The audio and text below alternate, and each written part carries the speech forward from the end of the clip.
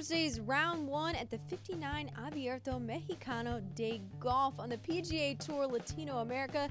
They're in Tijuana, Mexico this week.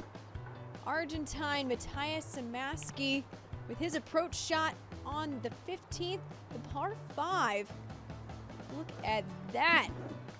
Pin hunting for him sets up a birdie on 15 to get him to 6 under par. He had a bogey on 16 coming in, so finished up at 5 under with a 65.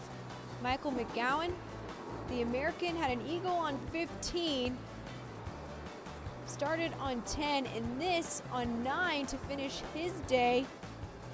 Sets himself up with a nice, easy birdie to finish up at 6 under par with a 64.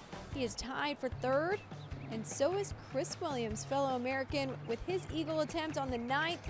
Just misses it. Ends his day with three straight birdies to get to a 64. Michael McCabe, the American, was four under through his first six holes. Check out his second shot on eight. Very nicely done. Goes on to make birdie, has a bogey free round, a 63. He is just one shot back of the lead after round one. And this is your leader, Sean Walsh. His approach shot on the par four fifth. Sticks it to set up birdie to get to eight under par. He shot an incredible 62 in round one and leads the way by one stroke.